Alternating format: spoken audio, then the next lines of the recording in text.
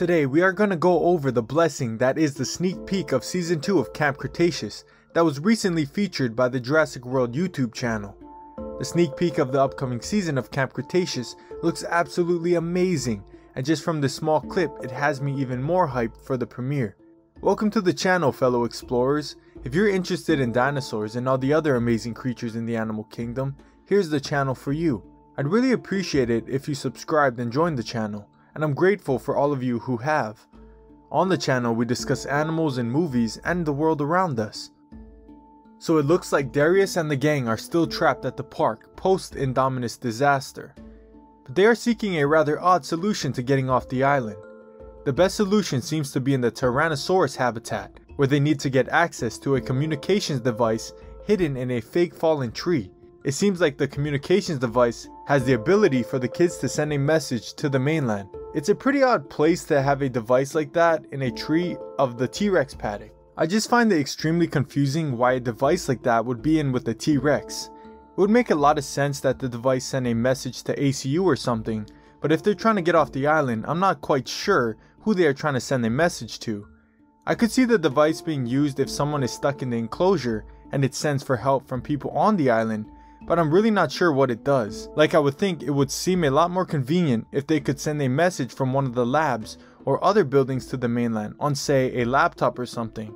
But it seems the fake tree device is their best option. The scene starts off with Kenji and Darius trying to open the communications device to send out the SOS. Unfortunately for the boys, the device is locked due to the tree being broken down. While the boys continue to break into the communications device, Rexy is making her rounds. While Rexy is making her rounds, it seems Sammy is stuck in the tree. In a very suspenseful sequence, as Rexy walks beneath Sammy, Sammy tries to stay completely still to be unseen.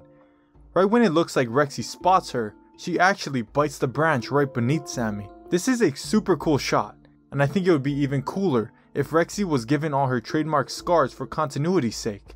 But yes, in a mind-blowing twist, Rexy, the T-Rex from the first Jurassic Park, is building a nest. This has me very confused as to why Rexy in her later years is only now building a nest, when in the past, she's never had these behaviors. Could Rexy finally be having babies and she's preparing a nest for her little ones? How in the world is this possible? Is there another Tyrannosaurus on the island? What we do have to keep in mind is that these events in Camp Cretaceous are supposed to have taken place before the Fallen Kingdom and after the first Jurassic World. With that in mind, could Rexy have had babies without us knowing? Okay, let's say Rexy is building a nest for her babies. How could this happen? Rexy, as well as all the other dinosaurs of the park, are made up of as much original DNA as possible, but where they lack the complete DNA, they make up for it by having the gaps filled with amphibian DNA. With this, it is possible that Rexy has the ability to impregnate herself in a phenomenon known as parthenogenesis, this is similar to the way Godzilla reproduced in the 1998 film Godzilla.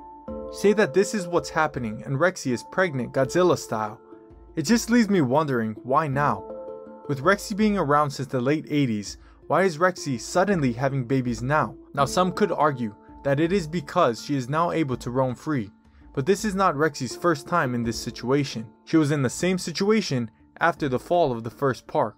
So why now? Is she now mature enough to have babies? Because the first time around roaming free, she was a lot younger and bigger. Was she just too young at the time? This just leaves so many unanswered questions. As Rexy is making her way back to her enclosure, carrying a stick in her mouth, it is awesome to see Rexy acting more animalistic and in the initial scene a lot more peaceful than we've really ever got to see her. She's just an old dino trying to build herself a nest. But as she heads back to her enclosure, the girls aren't able to contact and warn Darius and Kenji of the Tyrannosaurus incoming, and the scene intensifies. In a reactionary plan, Brooklyn opts to attempt to save the boys by yelling, What's up, Brooklanders? leading Rexy away from the boys. It seems her plan is to yell, What's up, Brooklanders? and get Rexy's attention, and have Rexy run straight at her. Or so it would seem. My first impression was that she somehow used the camera she had to project herself because in this clip, all she's doing is kind of standing there in an awkward stance.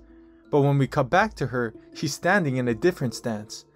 Unless she's trained by the world's greatest Manador, I doubt her plan is to just stay there and become T-Rex Chow. But overall, this mini clip release really builds the excitement up for the new season of Camp Cretaceous and has me absolutely pumped. With Darius flipping a mysterious switch, Rexy building a nest, and Brooklyn having Rexy charge at her, it gives us a lot to look forward to with just a 3.5 minute clip. I'd love to hear what you think about this clip. Where do you think the signal is being sent to? Is Rexy pregnant or just building a nest-like bed? Is Brooklyn really being charged by Rexy? Let me know down below. Be sure to subscribe and stay tuned for upcoming videos. Until next time, this is Content Jungle, signing out.